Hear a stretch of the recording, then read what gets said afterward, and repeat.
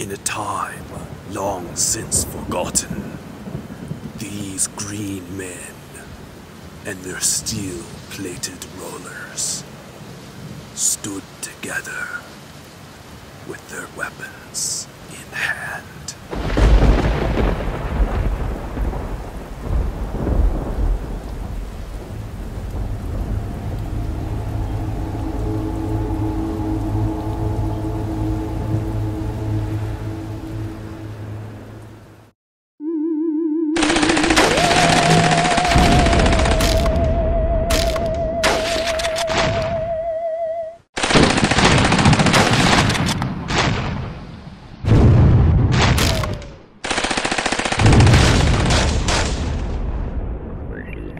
forever.